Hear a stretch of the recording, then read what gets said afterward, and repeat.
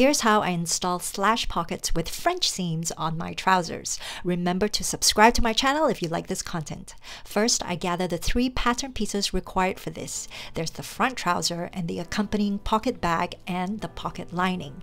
This also works if you're sewing slash pockets to a skirt instead.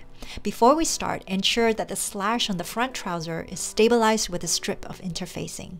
With right sides together, align the pocket lining with the front trouser, matching notches at the slash opening.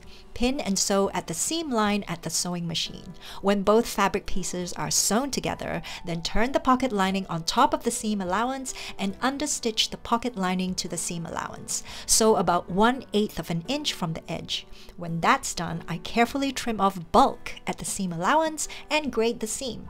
In addition, I make small cuts close to the stitch line so that the curve of the slash opening will sit nicely when pressed. Turn the pocket lining under so that the wrong sides are facing and press the slash opening curve at the ironing station. Now I'm ready to attach the pocket bag to the pocket lining. If you don't care much for French seams, then at this point you will align the pocket bag and the pocket lining matching notches with right sides facing together. Then sew the curved seam and close the seam allowance with an overlocking stitch.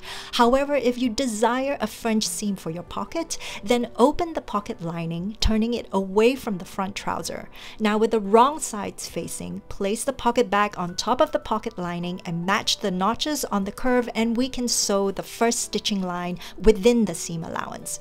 For a 5 8 inch seam allowance, I like to start with a quarter inch stitch line from the raw edge.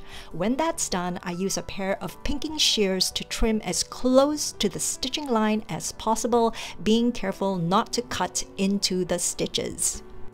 Now I'm ready to turn the pocket out so that the right sides of the pocket lining and pocket bag are facing each other. The V-cuts made by the pinking shears all along the curved line help to create a smooth curve when we bring this to press it out nicely with an iron.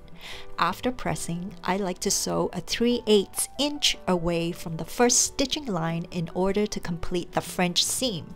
This means that I am now sewing on the seam line at the intended 5 8 of an inch seam allowance. When that is done, then we can attach the pocket bag and pocket lining to the front trouser by basting at the side seam and at the waistline. So that's how I install slash pockets with French seams to my garments. I like it because it has a very neat finish.